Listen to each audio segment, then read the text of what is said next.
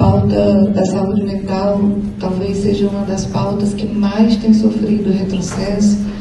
A política de saúde mental, a política nacional de drogas no Brasil, é, o sucateamento das redes substitutivas de acolhimento, de apoio e o autofinanciamento dos manicômios, das comunidades terapêuticas, e a gente precisa buscar força nessa luta.